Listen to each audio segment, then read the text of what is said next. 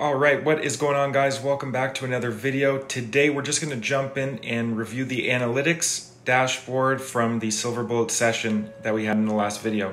So let's dive in and I'll catch you guys soon. All right, so we are back into the FX replay session, the Silver Bullet session. Today we are just going to be going through the analytics of the last session that we did. And so let's dive in.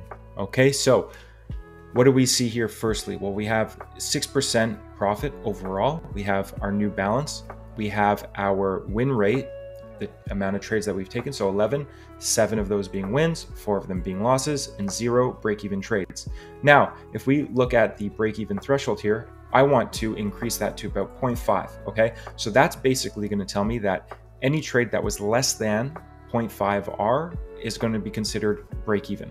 Okay. So if I submit, now we can see the real win rate, which 55%. So out of the uh, 11 trades, five of them were winners, four of them were losses, and two of them are break evens, okay, equaling 11. We can see our nice equity curve right here. Obviously, not that many trades. However, we are building up, and eventually that is going to be uh, some excellent data to go and look at. Okay, so if we just scroll down, we can see right here our average risk to reward. And so it was 1.43. We were targeting two R's, but there were a couple break evens there, right? And so that's going to reduce our average RR. You can see our max RR was 2.04. And if we look over here, we can see our ideal average. So meaning that we should just keep all of our targets at 2.2 R. Now, this, you want to wait until you accumulate more data. Same with the max ideal. Okay, you want to accumulate more data, more than 11 trades. Ideally, 100 plus trades would be would be more statistically relevant than just 11. So you, the more the better, honestly. But you can see here, uh, after a while, say you take 100 trades, you can say, hey, my average trade uh, or the ideal is 2.2. Okay, maybe I'm going to adjust my take profit to 2.2 rather than 2, and I should capitalize on more opportunities. Okay, so our max ideal. So this is just basically what uh, the max risk to reward that was hit over the course of the uh, trading period. Okay, um, that we didn't get to capitalize on entirely. So we the, the max that we actually hit was 2.04 because that's where our target was. But if we let it roll out, how, what was the highest that it went? And 2.87 was the highest that that one of them went. That's pretty good, right? We can see that our target at 2R is actually roughly in the same area so far as the ideal and max ideal. So this is really good stuff. Okay, that means that we're we're taking profit when we when we should be.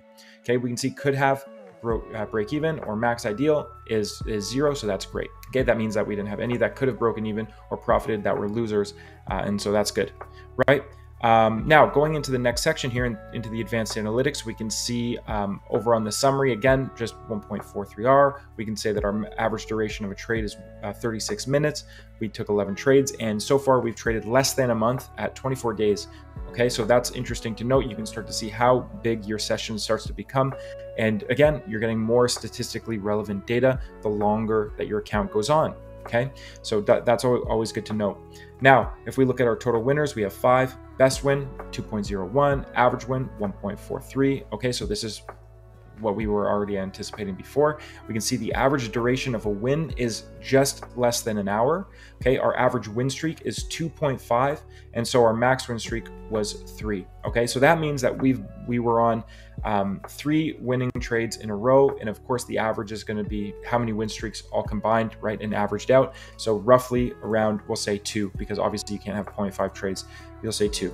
All right, so um, this is going to help you understand your data, especially when you're talking about the max losing streaks, right? This is going to help you with your drawdown to understand, okay, how can I, how much can I afford to lose psychologically if my max losing streak is two? What happens if that was, if that number is 10, right? And the longer the sessions go for, the more this is going to be accurate. And so what happens if you go on a 10 trade losing streak?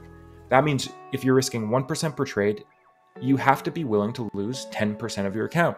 If you're not willing to lose 10% of your account, then what does that mean? It means you have to adjust your risk. Okay. So, very, very important stuff. And this is an amazing uh, way to gauge your drawdown and understand how much you should be risking. Okay. If we look at our performance per day, we can see that again, great, right? We took one hour losses, not too big, but you can start to see that we're really profiting on Wednesdays so far, and we're still profiting on Tuesdays and, and Thursdays. Haven't really taken much on Friday. Just to, I think this is a break even here. Yeah, break even. Okay, and we're losing on Monday. So now this is great data. We can start to say to ourselves again, over 100 trades. What does this look like? Am I continuously losing on Mondays? If so, cut that. Right? We can really optimize our bottom line if we're cutting out losing days, days that for some reason our strategy is particularly prone to losses, right? And again, on days like Wednesday, if this proceeds to be something that is exponentially larger, exponentially more profitable than than other days, this is a potential day that if there's a setup and it's it sets up nicely, this is a day that we can potentially add risk on, right? Because these are the days that perform better. So again, great to great to note with uh, your performance per day. If we scroll down a little bit, we'll get to the risk reward performance calendar and we'll start to see how we performed during that month. In this case, we're, we're operating in June. So if I scroll into June, you can start to see here that we had, you know, a lot of green in this month. We had a couple break evens right here. Very interesting. We can start to see on Wednesdays is, is has been purely green. Tuesdays been purely green.